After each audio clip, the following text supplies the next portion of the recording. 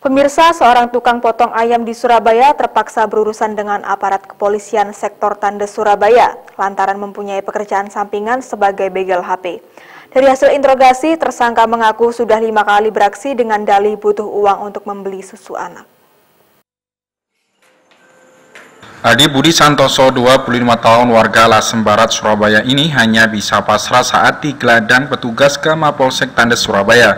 Pelaku yang sehari-hari bekerja sebagai tukang potong ayam ini diamankan anggota Reskrim Polsek Tandes lantaran tertangkap tangan melakukan aksi begal HP di kawasan Jalan Darmo, Indah Selatan, Surabaya. Dari pengakuan tersangka, dirinya beraksi bersama rekannya AR yang hingga kini masih buron.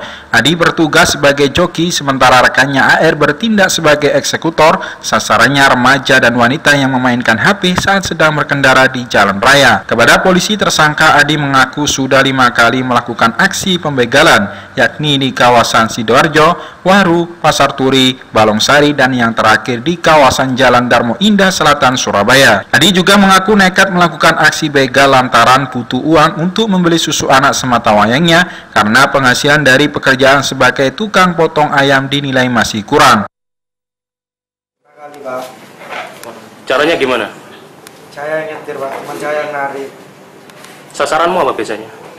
Perempuan pak, kadang laki-laki. Hmm. Biasanya kamu beroperasi jam berapa aja? Gak mesti pak, kalau gak punya uang buat beli susu anak saya. Anak berapa? Sementara itu Kapolsek Tandes Kompol Kusminto menegaskan bahwa aksi komplotan begal HP ini tergolong sadis. Betapa tidak meski tas sedang diselempang maupun HP sedang berada di tangan, mereka tak segan-segan menarik hingga korbannya jatuh tersungkur. Sementara pengungkapan kasus ini berawal saat polisi mendapat informasi adanya aksi pembegalan di kawasan tersebut. Kemudian unit reskrim yang saat itu sedang melakukan kringserse langsung melakukan pengejaran. Akhirnya satu pelaku berhasil ditangkap meski satu pelaku inisial AR berhasil kabur mengendari motornya. Salah satu diduga yang laka ini kok terlihat mau lari. Nah, akhirnya diamankan bersama warga.